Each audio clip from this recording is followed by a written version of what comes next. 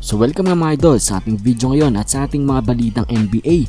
Ngayon, pag-uusapan nga natin ang balita about dito sa lineup ng Los Angeles Lakers. Meron kasing lumabas na report mga idol mula nga sa The Athletic at mula dito kay Sham Sharanya na ito nga daw ang projected starting lineup ng Los Angeles Lakers.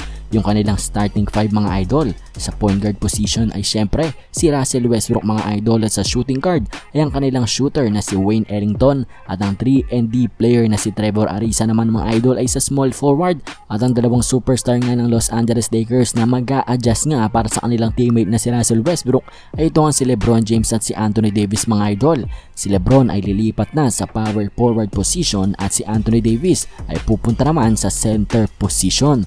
So ayan nga mga idol ay bali-balita na noong na-trade pa nga lang itong si Russell Westbrook sa Lakers at ito nga daw mga idol ay napag-usapan na nila Lebron, nila AD at ni Westbrook at ngayon nga mga idol mukhang magkakatotoo nga itong pag-adjust ni Lebron at ni Anthony Davis Lilipat nga sila ng posisyon para nga sa kanilang bagong point guard na si Russell Westbrook. So sa tingin nyo ba mga idol maganda nga itong balak ng team ng Los Angeles Lakers? Si Lebron James ililipat sa power forward at si Anthony Davis maglalaro na nga ng sentro simula nga sa next season.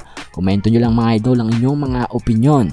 Sa ating next balita naman, ito ang si Michael Porter Jr. at ang team ng Denver Nuggets ay nag-agree nga sa 5-year max contract extension na halos 207 million US dollars.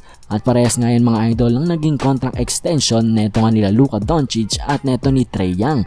So tatlo na ngang player mula sa 2018 NBA draft ang nakatanggap ng max contract extension na 200 million.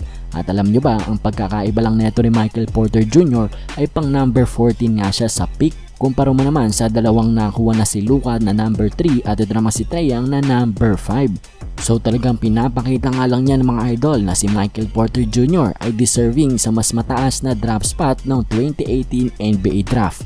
Pero anyways mga idol, nakalipas na ngayon at siguradong ang team ng Denver Nuggets ay tuwang-tuwa na nakuha nila itong si Michael Porter Jr. sa number 14 pick. At sa ating panghuling balita naman mga idol, itong nga Golden State Warriors ay nag-umpisa na nga ng kanilang media day. At ngayon nga din mga idol, itong nga si Klay Thompson ay pumunta nga sa Warriors Media Day na naka-complete uniform at may headband pa. At alam nyo bang ginawa niya mga idol? Siya lang naman ay nag-ensayo nga ng kanyang 3-pointer. Panorin natin to mga idol.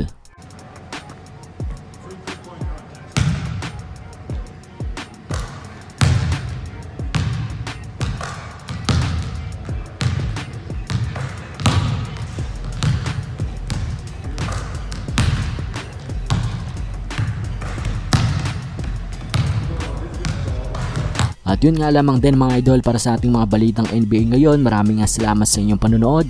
Huwag kalimutan na mag-like at subscribe para sa mga susunod pa nating balitang NBA. So yun lamang. Maraming salamat muli. Bye!